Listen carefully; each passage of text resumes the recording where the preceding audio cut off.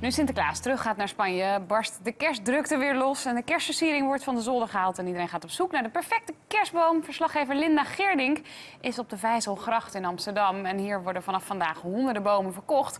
Goedemorgen, Linda. Goedemorgen. Ja, dit is alles behalve een romantische plek. We staan hier in een container. Rinus Brommer, verkoper. Jij, eh, wat is jouw ochtendritueel, Rinus? Alle bomen naar buiten slepen?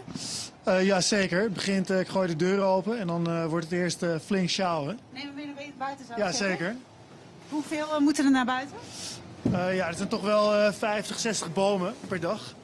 En ehm, ja, dat, houdt me fit, hè? dat houdt me jong. Linda. Ja, en je hebt zeker thermohonden goed aan? Ja, zeker. Ja, je moet jezelf beschermen hè, tegen de kou. Ja, waar moet je nou op letten als je een kerstboom koopt?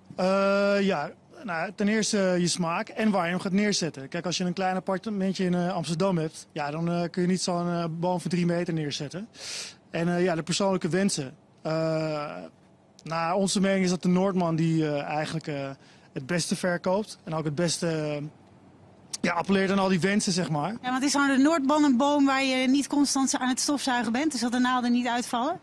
Ja, dat zeg je heel goed, Linda. Het is een hele naaldvaste boom. En uh, ja, hij is ook heel aaibaar. Ga er maar even doorheen met je handen. Zo.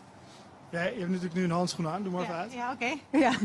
ja, deze voelt zacht inderdaad. Ja, hij prikt helemaal niet. En uh, je had vroeger de spar. Die ruikt heel lekker. Maar die valt heel snel uit. En uh, hij, prikt, hij prikt enorm.